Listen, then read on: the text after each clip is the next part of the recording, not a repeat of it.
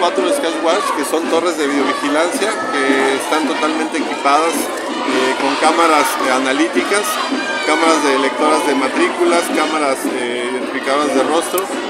Estas eh, torres de vigilancia prácticamente nos permiten estarlas instalando en cualquier zona aunque no tengamos cobertura de internet para que estemos transmitiendo en tiempo real con el C5I a través de la videovigilancia.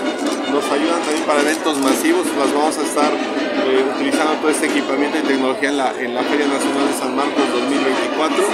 Entregamos también eh, vehículos especiales todoterreno como precisamente son, son estos eh, vehículos que nos permitirán trabajar o intervenir en zonas rurales, ¿no? donde a veces la, la zona para patrullar son complicadas porque son zonas de difícil acceso entonces estos racers nos van a permitir también hacer el patrullamiento.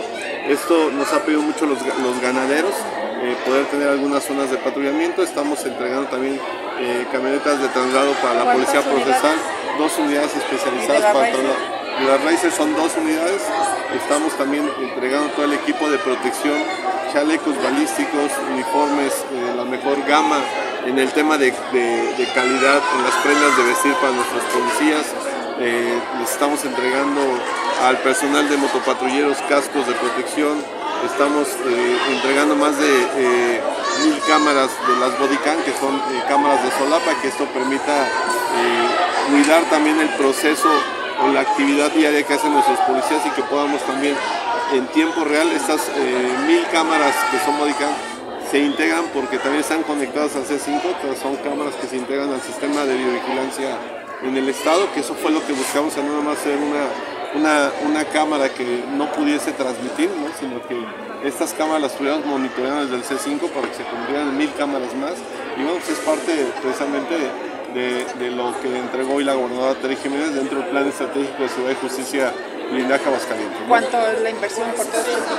Pues cerca de, arriba de 30 millones de, de pesos más o menos. ¿Cuántos son los, con los ascendidos? ¿37? Son 39 eh, compañeros que ascienden desde Policía Tercero, Policía Segundo y suboficiales.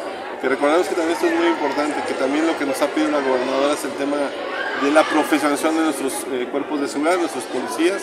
Por eso eh, se implementó el servicio profesional de carrera y esto permite que haya promoción de ascenso, que no haya el tema de un dedazo, que no haya el tema de eh, pues el, policía que me cae bien, porque es mi amigo, tiene que ascender, sino se abre una convocatoria abierta con las reglas de operación que establece el mismo servicio profesional de carrera, la comisión, hay una comisión del servicio profesional de carrera que es la que hace la convocatoria, el secretario no tiene nada que ver en esto, los directivos. Cada uno de los temas eh, de, las cámaras eh, que se están entregando, de, los, las torres que se están entregando, tienen eh, pues como las mismas cámaras que tenemos con reconocimiento facial y de placas, son lectoras y estos los vamos a poner en algunas zonas donde van a estar blindando pues a nuestro estado, ¿verdad? Entonces, hoy hacemos también entregas, son algunas de las cosas que estamos entregando porque pues ya no trajimos todo, pero son algunas de las bueno, cosas. Aquí seguimos y bueno, estamos contentos porque estamos entregando también este centro de mando móvil C2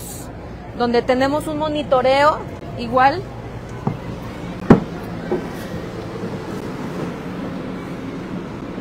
Tiene antenas, cámaras y aquí podemos estar viendo todos los lectores también de tanto de placas como también de rostro. Entonces, no sé si quieras comentar algo. Gobernadora, con gusto. Eh, este C2 móvil Andrómeda tiene toda la tecnología de C5. Prácticamente todos los algoritmos robóticos se pueden ver desde aquí. Tiene un circuito de 40 cámaras, lectoras de placas, reconocimiento facial. Y lo más importante es que eh, es totalmente automatizado y produce su propio internet. Entonces, como usted indicó, en las zonas en donde no hay internet y cobertura, el centro de mando amplifica su propia señal de internet tiene un mástil de 40 metros que sube de manera eh, eléctrica y puede darnos un rango de vista de hasta 10 kilómetros. Y bueno, como usted eh, indicó, es muy digno, muy cómodo para nuestro personal operativo, para que puedan estar aquí tanto resguardados en operaciones tácticas. Entonces, pues aunque no haya internet, este sí trae internet y de hecho el C5, que es el primer lugar en todo el país, también tiene una aplicación en carreteras, en los lugares donde no hay internet, tienen una aplicación para que la bajen para el 911, donde pueden hablar directamente. Y bueno, pues hacemos que la tecnología siempre esté, ¿verdad? Siempre esté con la seguridad pública.